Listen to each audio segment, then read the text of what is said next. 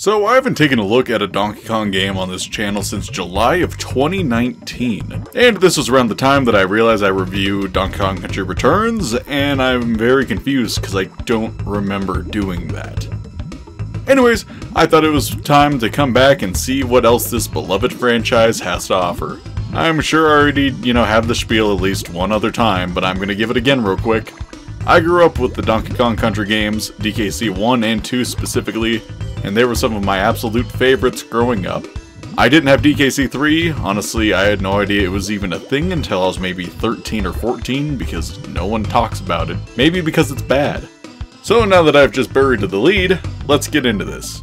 This week here on TGRS on Internet Nobodies, I'm your host, James, and we're going to be taking a look at the platforming masterpiece, Donkey Kong Country 2, Diddy's Kong Quest. The story goes as such. Donkey Kong. Wait, wait, wait, hold on. This doesn't feel right.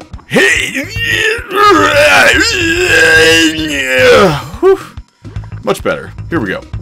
Donkey Kong gets kidnapped by King K. Rool, who is now going by the name of Captain K. Rool, and is taken to the top of Crocodile Isle.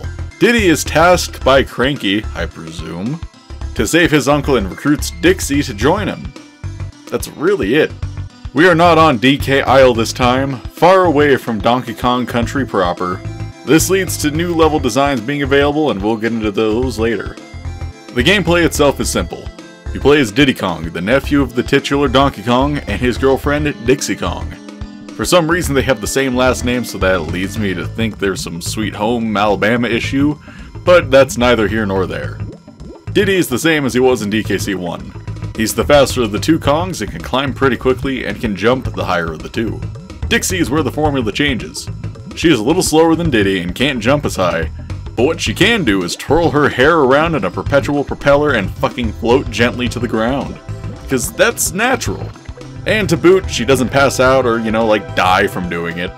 There is some limitation to this. She can't do it after jumping off of an enemy, and she can only do it once per jump. So if you stop the hover, you cannot do it again until your feet touch the ground. I've also noticed that she can't seem to do it after clinging onto honey, but maybe my old man fingers aren't fast enough to do it or something. Both Kongs can roll through some enemies and will gain a burst of speed from doing so up to a cap, which is actually one of the reasons this game and the first are so popular to speedrun. There are these new hooks that sometimes pop up in levels that the Kongs can just kind of grab onto and hang off of, there's also a new team-up move, where the lead Kong will carry the partner on their back, and then throw them as either a projectile or as a way of reaching out of the way areas and secrets. Because there is no quote-unquote Big Kong on your team, the bigger enemies can only be destroyed by an animal buddy, by throwing something, or someone, at them, and by running through them with the new invincibility barrels that exist in a few of the stages. Speaking of the animal buddies, Rambi the Rhino returns and along with his new charge ability, he is still able to jump on and attack bees with his horn. Enguarde, the swordfish is back too, and he plays the same as in the original game as well, alongside the new charge ability. He's basically just like the Rambi of the water. Rattly is the first new addition to the Animal Buddy cast. He's a goofy looking snake that can jump super high actually, and is all around kind of cumbersome to control. But I think he is the most used animal buddy, because of course he is. Squitter the Spider is kinda cute with his giant shoes, and it helps take away from the fact he is a giant gross fucking spider that should be burned to a crisp and anyone that says otherwise is wrong. He can shoot out webs that can kill enemies. You can also use him to create platforms, the webs traveling out slowly, then folding out when you push the A button again. If you press the L and R buttons at the same time, you can actually make a platform directly underneath him, another trick that speedrunners use. I mostly found that it works best when jumping up. If you're falling down, you're more likely to fall straight through the little platform. Squawks is the last animal buddy. While he was in the first DKC game, he wasn't really playable. He just lit up dark caves and would burn up old CRT TVs. But in this game, he actually carries Diddy and Dixie and acts as a form of flight for them. He can also cough up eggs because that's something birds do. There is something I actually never knew regarding squawks. Some stages, the levels are completely lined with horns and you have to use squawks to navigate through them safely. But if you just let him kind of float to the bottom, he'll never let the Kongs fall down far enough to actually hurt them. This is just a neat little thing they added. There aren't many uses for it, but it means you don't have to constantly press the jump button to fly all the time. Some levels are basically animal buddy levels. You can jump into this barrel with the image of a specific buddy, and the Kongs will actually transform into the specific animal.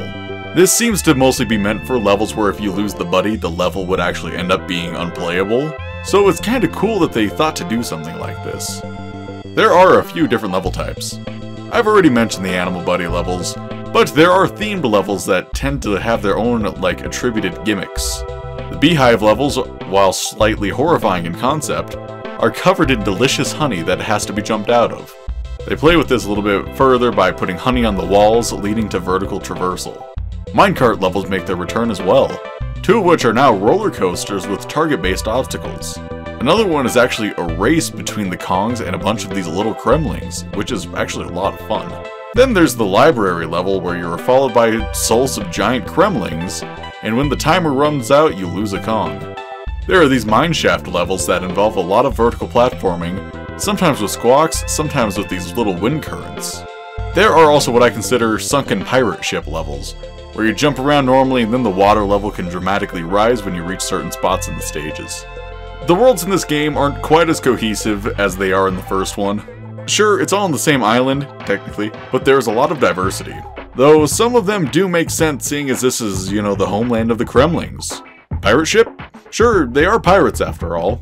A swamp? Yeah, alligators and crocodiles live, live in swamps, so that makes sense. An amusement park? You know, everyone needs a little bit of fun, especially, you know, with the horrors of 2020, so I can accept that. Then there is a fucking lava world. Okay, yeah, perfectly reasonable. Why are there gators floating in the lava? Oh, and then there's a sunken ship that is filled with super hot water that these seals can cool down with their breath because that makes perfect sense. There is a hidden world actually called the Lost World, and you need these K. Rool coins to enter it. How do you get these coins? By completing bonus stages, of course. Klubba defends the golden barrels that are portals to the Lost World, but he's a greedy little bugger and will let the Kongs pass for a measly 15 coins. This unlocks one level in the Lost World, which is pretty neat, but I only got to unlock, I think, three different levels on my playthrough for this, so I didn't get to go through the whole thing, but I do know that after you beat it, there is another boss fight against Captain K. Rool. There is another new collectible called the DK Hero Coins. These were placed by Cranky Kong in each of the levels, and they can be kinda tricky to get to. At the end of the game, he ranks your hero level based on the amount of coins that you have, versus Link, Yoshi, and Mario. I bumped Link off in my playthrough so you don't get to see him, but that's pretty neat. I suppose I should add that there are DK family coins, these ones have bananas on them, and they can be spent at any Kong business. Like giving them to Cranky for info about the levels, or to Wrinkly to, you know, save the game. Using Funky also requires coins, which in and of itself isn't an issue, but when starting a new game you have no coins and lives, so you need to play through a level, get a few coins, then go and see Funky to level hop. There is Swanky, who is a sleazy game show host, and he gives you trivia questions about the game in order to earn more lives. The questions are pretty easy, I fucked up a few times of course, but for the most part they're not difficult, especially if you play with save states or, the, or a rewind function. So I did play this on my Switch, so I did have access to a rewind function, but for the most part, I didn't use it. I mostly used it for if I got a question from Swanky wrong, or if I wanted to see if there was like a secret in certain pits. For the most part, I had 99 lives, and I stayed there through basically the whole thing. Wait, hold on. I died, and the life counter didn't go down? Yes, my dear friends, I do still have 99 lives. This game does something kind of interesting that I wish other games with life counts would do. Despite the life counter only saying 99 lives, the game itself does keep track of the total. So if you have 104 lives, you would need to lose 5 before you'll start subtracting from the total life count. Lots of other games, along with even like the new DKC games, don't track lives like this. Basically, once you hit 99, you have zero incentive to collect any more until you might die, then you need one more and that's it. I'm sure you can see it and have heard the history of the graphics of these games, but they took what are essentially pictures of 3D models and compressed them down into sprites that, that the SNES could render. But I do like how they look. While the graphics have aged pretty hard, as do most like high fidelity graphics, they do look pretty awesome. Some improvement that this game has made over the original was that they seem to go for more like a claymation look. Not quite so much from the animation style or anything, but Some collectibles like the Kong letters have like a squishy look to them almost, as opposed to the shiny look that they originally had. Even in the backgrounds, in the first game being very like based off of nature, this one has a lot more man-made, Kong-made, Crumb-made locales. And they have less emphasis on realism, like the mineshaft levels have these gems in the back, but they honestly look kind of cartoony and fake. This really helped the graphics age better in my opinion. So, normally I don't talk about music. You know that, I know that, Matthew knows that, but the music in this game is pretty good. I have nothing new to add to the conversation, but as a game I had growing up, the music is all super nostalgic for me, and this is one of the few game OSTs that I will actually listen to. R okay, rarely. Alright, like once maybe four years ago. DKC 2 is an awesome game, and in my opinion is the best of the DKC trilogy. That being said, I haven't beaten DKC 3 at the time of writing this, so that might change, but as of now, it is my favorite, only beaten out by Tropical Freeze of all games. It is an old video, but go watch the Tropical Freeze video. Okay, thanks. And thanks to Nintendo, it is actually pretty easy to play. I know, Nintendo making something easy to play, talk about weird. But if you have a Nintendo Switch and have the Nintendo Switch Online, you have access to all three DKC games and can play them literally everywhere. I mostly did this for like convenience's sake. I didn't want to hook up my Retron 5 to play it, but it is nice that that's an option. Okay, I'm done monkeying around. I should probably start the outro. I had to get one. Thank you so much for watching. If you enjoyed, please like this video and subscribe to the channel if you have not already.